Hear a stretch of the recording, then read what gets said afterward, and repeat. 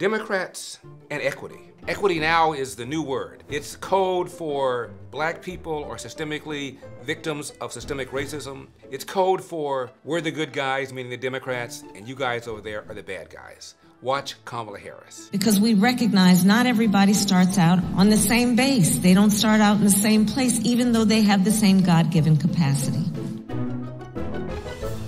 We need to recognize not everybody starts in the same place. Is there a society anywhere in the world where everybody starts in the same place? In fact, think about your own household if you were lucky enough to have siblings. Fast forward, you're now adults, you now have your own careers, your own jobs.